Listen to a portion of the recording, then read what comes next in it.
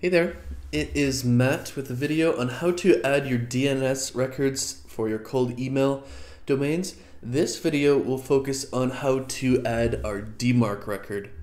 These videos are going to be based on Microsoft 365 and GoDaddy, so just keep that in mind if you use Google Workspaces or something else that's not Microsoft 365.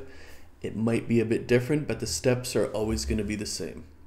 So what I've done here is I've Googled DMARC record generator. So for example, let's just refresh it here because I was trying it out before the video. dmarcly.com slash tools slash dmarc dash generator is a good option here. So let's go here because this is where we're actually going to generate our record. And the record will have to be different for every single DNS record, unfortunately. So if we have 10 cold email domains, we're going to have to do 10 different records, but we could also save a bit of time. Uh, I'll show you how to do that.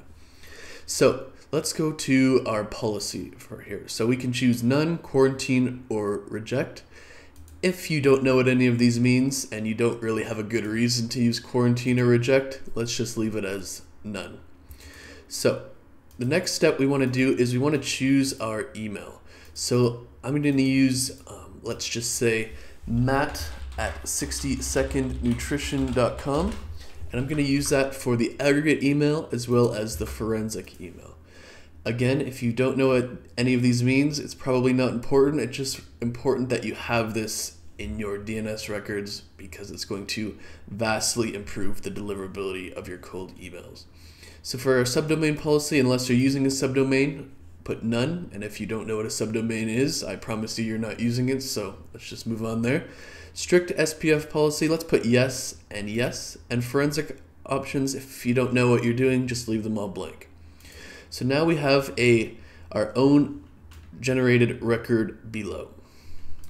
So let's just copy and paste it up here for now.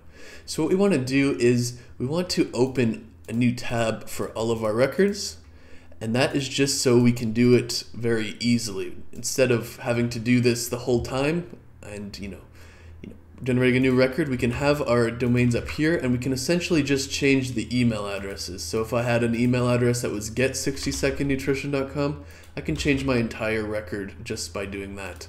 If I had another one that was try60secondnutrition.com, I can change it like that. And then I can just copy and paste it and I don't have to use this generator every single time. But let's go into and copy and paste that and let's go into our GoDaddy account. So this is the matching domain that I generated the record for. So what we want to do here is we want to add a new record. We want to choose a TXT. Very important here, we want to do underscore and then DMARC like that. That's going to be the name for all of them. That doesn't change.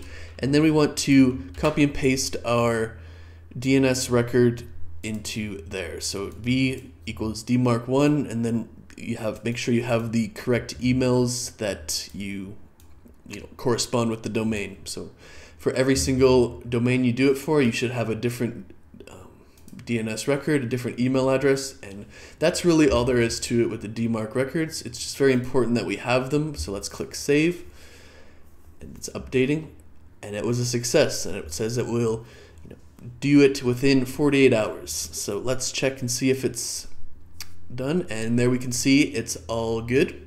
So that's how you do a DMARC record on GoDaddy. For Google Workspace it might be a bit different, but you can use just Google DMARC record generator and you know you can do anything you need to very quickly. So hopefully this was helpful and I will see you in the next video on how to add our DKIM records. Thanks.